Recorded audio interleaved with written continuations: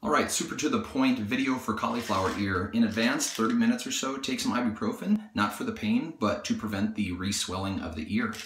Secondly, clean the area really well, duh, including your hands and everything. Needle, you can really use anything you want, a sewing needle or a hypodermic needle. You're gonna have a hard time finding the needles sold together on eBay unless you buy an insulin needle, which they sell up to 3 cc. Then you can get the needle and the syringe together legally. Anyway, next step, when you do your drain, if the cauliflower has been there for a little while, squish it up and down while you hear the crunching noises to get it a little bit viscous. Your insertion point should be at the bottom of the cauliflower so that gravity assists you to get all the fluid out. You can squeeze the fluid out into the sink or something like that if you don't have a real needle. I don't uh, find that it helps to have a real syringe sucking it out. Squeezing it out is adequate.